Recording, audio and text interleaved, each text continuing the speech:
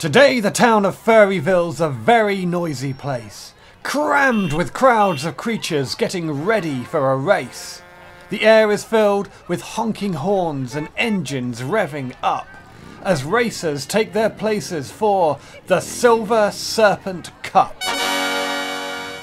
From Furryville to Featherport, a thousand miles away, this pack of eager animals will get there in one day. On the ground, or in the air, floating or submersed. There's just one rule. To win this race, you have to get there first. Who will win the race?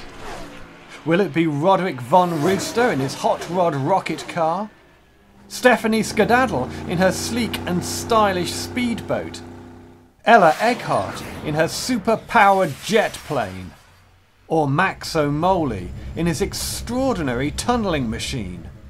Al McNasty has said that the cup is his, and you can be sure that this awful alligator will stop at nothing to get his claws on it. But will he succeed? Find out in Fast and Furry Racers, the Silver Serpent Cup.